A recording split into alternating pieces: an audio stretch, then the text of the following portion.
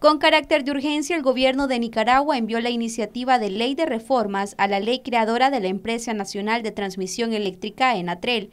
Así cita un documento que circula de manera extraoficial, según detalles de lo que parece ser un borrador donde el gobierno mandata reformar la junta directiva para que tengan participación representantes del gobierno. Para Javier Mejía, experto en temas energéticos, esto podría tratarse de una imposición o desplazamiento de la junta ya existente de ENATREL.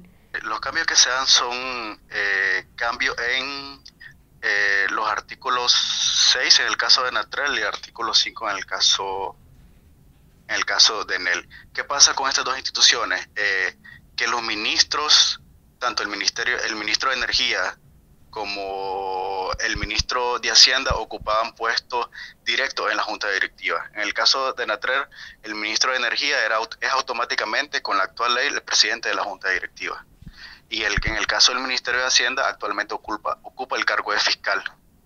Eh, con estas reformas lo, lo que hace el gobierno es dejar abierta la posibilidad a designar otra persona en estos cargos de la Junta Directiva que no necesariamente tienen que ser los ministros. Puede ser cualquier otra persona que represente a estos ministerios o que ocupe un cargo en estos ministerios.